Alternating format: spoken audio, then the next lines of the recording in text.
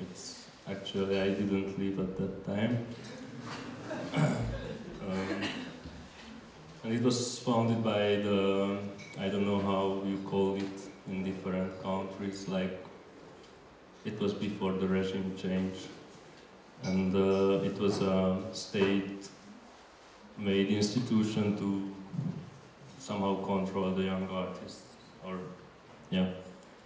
And um, after the regime change, uh, there were new board members, and they made an association from this. Uh, um, I don't know what was it, and uh, but but this place at the seventh district is uh, like sold as this as the studio, and uh, after the regime change, we are working in this structure that there are 500 members, uh, artists, curators, critics, art historians, and um, anybody can apply to the association who is under 35, so you don't need any diploma or uh, you can live anywhere, or it doesn't matter. And uh, and there is a board member or a board. Uh, there are 11 board members, and and uh, they are selecting the new association members from the applications, uh, which is interesting that that there is a yearly meeting for all the members in every year once, and uh, any of the members can apply to be a board member, and we are voting uh, in a democratic way, and. Uh,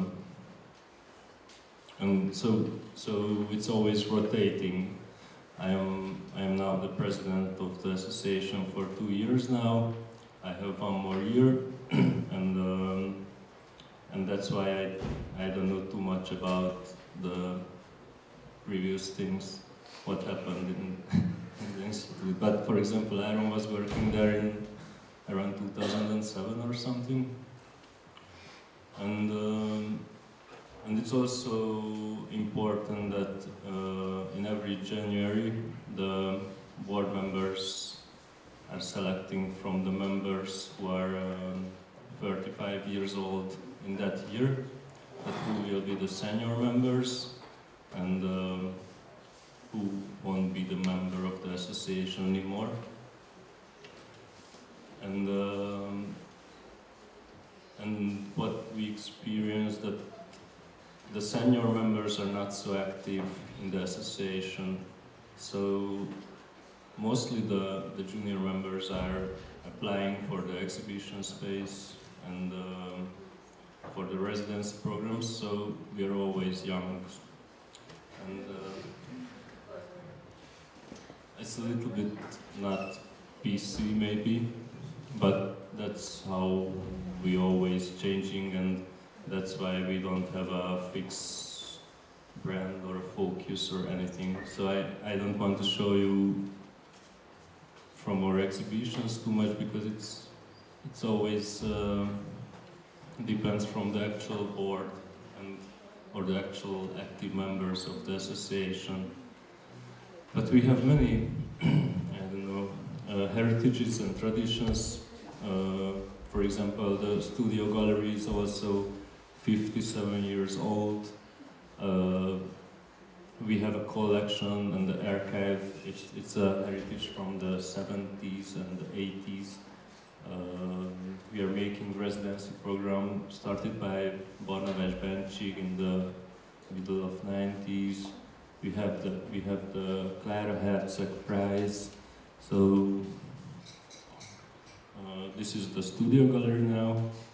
It's a 90 square meters big space, but uh, we also have an office here, a community space, which is which we are using for uh, presentations, um, discussions, Uh, sometimes, for example, Christmas parties like on this picture, or it's on the next morning after the Christmas party.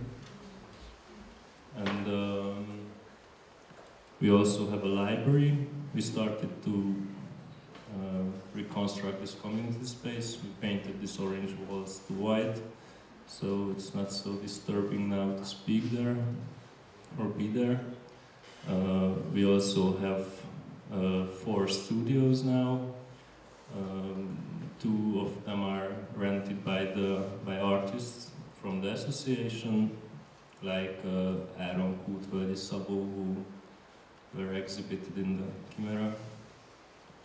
And uh, this is this was uh, Mitch Miklós's uh, studio before. Uh, this is the archive. It's it's a lot of boxes. Actually, I don't know exactly what are in these uh, boxes, but we have um, art historian volunteers group who were working on it and uh, digitalizing all of these uh, documents. Um, we also have the collection, what I mentioned before. It's a lot of paintings and sculptures and graphics from the 70s, 80s and the early 90s. We don't know what should we do with them. Actually, it's impossible to, to handle 500 artworks without money. Um, but if you're interested, it's, it's, it, it represents the Hungarian art scene from this period, so it's quite interesting. We have this billboard close to the studio gallery. I don't know how should I say in English its name, but, but it's a public billboard in the center of, the, of Budapest, and uh, in every three months is, our members can apply to to make an artwork there. Um,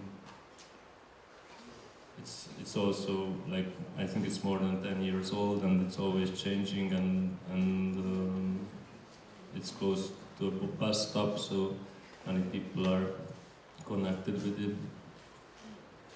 Yeah, and we have residency programs, um, actually with the MeetFactory also, and uh, MOKS in Estonia, and with the Oberliht Association in the Republic of Moldova. But it's also really hard to to organize this because all the board members are, are uh, volunteers, and uh, me also. And and as you've seen, um, there are so many things what we are doing that it's. Uh, I think we don't have energy to build a bigger network uh, or international network. But actually, in Budapest we have a very good network. I think we know all of the actors or the people in this scene. And um, and I think these three possibilities for our members is also very good. Financing.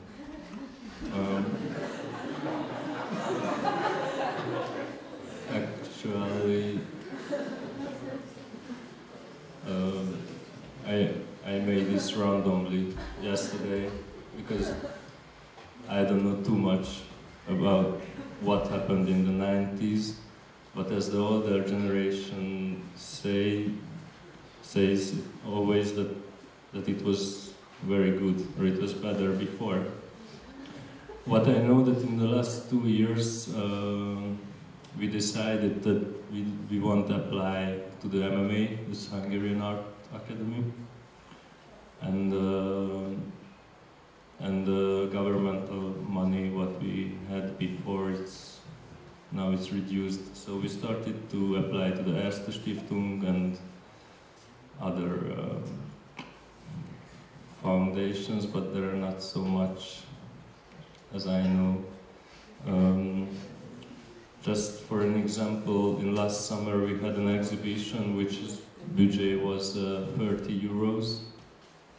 It's uh, it's not a big money, and uh, and and this very low money with the volunteering ba- volunteer-based board, it's uh, sometimes almost impossible to survive. But all with these things, we are still uh, organizing one or two international exhibitions in every year.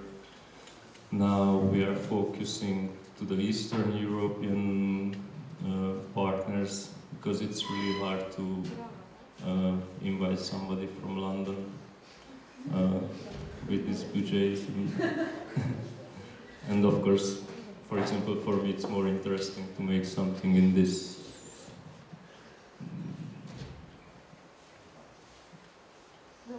this part of Europe. Well, um, future plans. Um, actually, this is the board, or almost the, almost everybody is in the board still, and um, and we are now we are examining this uh, this heritage from the past because it's for example we, we have a yearly exhibition in every year from uh, selected from the members and, and maybe it's not so important to follow this or we, maybe we should sell the collection and and that's what we have to think about now and uh, and we have to choose for example between that maybe we want to be a professional gallery in Hungary or we still want to um, give possibility to our members to organize totally different exhibitions month after month, which is also very important in the Hungarian scene. But uh, but now we have uh, kind of strategic meetings in almost every month in weekends, but it's really hard to organize in this um, working for free with this working for free stuff. But uh, so we have many spaces and many possibilities, and, and you are very welcome.